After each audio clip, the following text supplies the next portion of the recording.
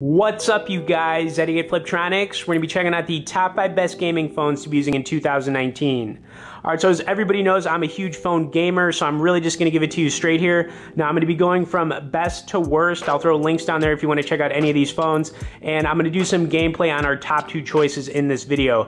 Now, my favorite gaming phone right now in 2019 is the iPhone XS Max. Um, I simply love this phone. You know, it's got a really nice 6.5 inch OLED display. Uh, you know, I love iOS for gaming. Don't get me wrong, I love Android, but you know, this is my top choice.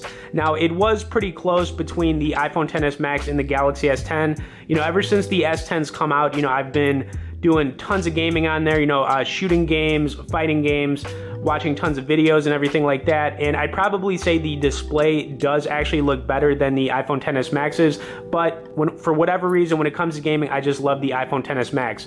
So you've got a 6.5 inch OLED display here, a 6.1 inch OLED display on the Galaxy S10, and a really solid third choice uh, if you want to save a little bit of money and you're looking for like a, a high-end gaming phone, the LG G8 ThinQ is a really good phone. Now this phone came out of nowhere. Uh, you know, I haven't really followed LG the last couple of years, but this one, it's a solid choice. Now it sells for around 800. The S10 sells for around 900. Then of course the iPhone XS Max, you're looking at uh, spending a G basically. All right, so my fourth pick is the Sony Xperia 10 Plus. This is a really nice budget phone right here. You can get it for right around $400. It's got a nice 6.5 inch LCD display, and um, you know Sony these phones can be hit or miss, but I think this one is a really good one. And then, of course, my fifth choice would be the Moto G7, which is a really solid phone. It sells for $300. Now, I have been following the Moto G series over the last couple of years, and these phones continue to get better and better. So it would be a very solid pick for any phone gamer out there who's only got about $300 to spend. All right, so I'm going to start things off here with some gameplay on the iPhone XS Max. We're going to do some on the S10 after that, and, uh, you know, let's get into it here. So I just wanted to get my top two picks rolling here. Now I've got a good game we're gonna check out on uh, here for everybody. It's called Black Paradox. Um, I'm gonna take it to the home screen on here.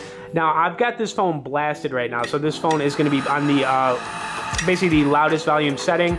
And this is a really cool arcade style shooting game that I wanted to do some gameplay with. So let's uh, let's get into it here.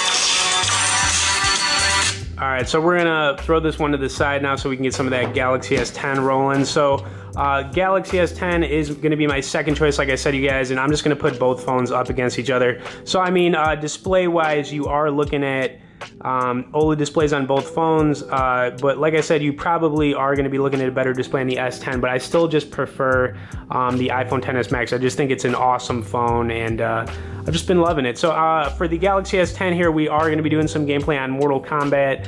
Uh, you know, I've been um, playing this a little bit more lately, and I know we have the new Mortal Kombat that just came out on consoles. Uh, I'm going to get the volume turned up as much as possible here, and uh, let's do this.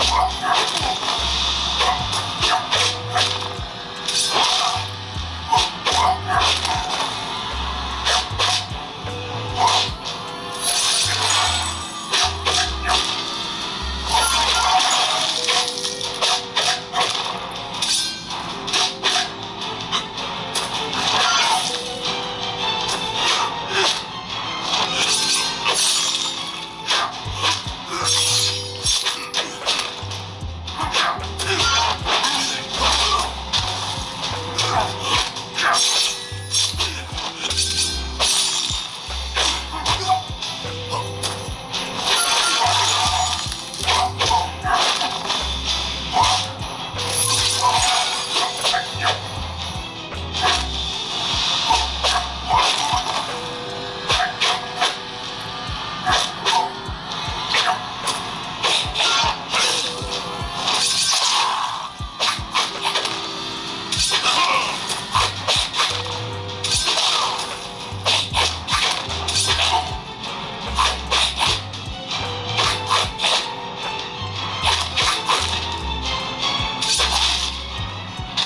Right, cool. I uh, hope you guys enjoyed a little bit there on the uh, Galaxy S10. So I'm just to kind of go through these one more time here. So we've got the iPhone XS Max is to be my top choice. Galaxy S10 is going to be a really good second option for everybody. Then, of course, I've got the LG G8 ThinQ over here. This phone is awesome. Uh, a uh, little bit less money than the S10. Then, of course, we've got the Sony right here, which I absolutely love. And then, of course, the Moto G7. So, if you guys are looking for the best gaming phones right now in 2019, um, I'm really just going from best to worst over here. But, you know, they're all still really solid phones. And depending on how much money you have, you know, you've got a $1,000 down to 300 So, I'll throw links down there if you want to check any of these out. Please hit the like and share. Thanks for watching, guys, and we will see y'all later.